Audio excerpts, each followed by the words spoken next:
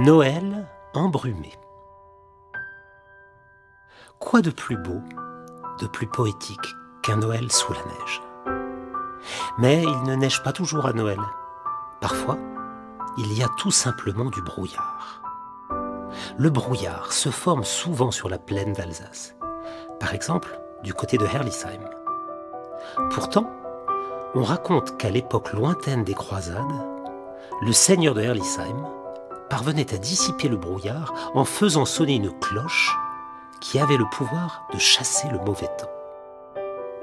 Mais voilà, un beau jour, le seigneur de Herlisheim partit en croisade à la tête d'une grande armée. Il promit à sa tendre épouse de revenir en vainqueur le plus rapidement possible. Mais les années passent. Sans cesse, la cité de Herlisheim est plongée dans le brouillard et la belle épouse désespérée ne voit pas revenir son mari. Sa famille la presse tellement de se remarier qu'elle accepte finalement d'épouser l'un de ses prétendants, bien malgré elle pourtant, car son cœur est resté fidèle au seigneur de Herlisheim. Les noces avec son nouveau mari doivent être célébrées juste au moment de Noël. Or, contrairement à ce que chacun pensait, le bon seigneur de Herlisheim n'était pas mort il errait seul, triste, en haillons dans les déserts d'Orient.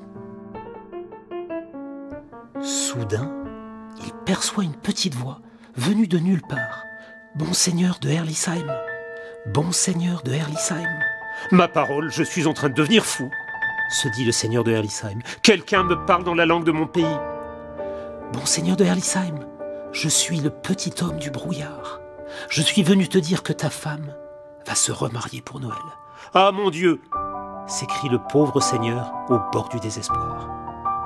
Ne désespère pas, répond le petit homme du brouillard. Je peux te ramener en un clin d'œil chez toi si tu promets de ne plus jamais me chasser. Accordé s'exclame le seigneur. Et aussitôt, le bon seigneur se retrouve chez lui à Herlisheim, auprès de son épouse, qui l'accueille en pleurant de joie.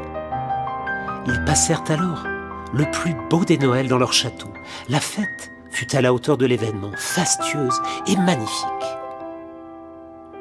Depuis ce Noël inespéré, le Seigneur a tenu sa promesse. Le petit homme du brouillard vit comme chez lui, dans le pays de Herlisheim, et il n'est plus question de le chasser. Chose promise, chose due, mon bon Seigneur. Voilà pourquoi, aujourd'hui encore, le petit homme du brouillard s'amuse souvent a habillé la bonne ville de Herlisheim d'un fin manteau de coton blanc.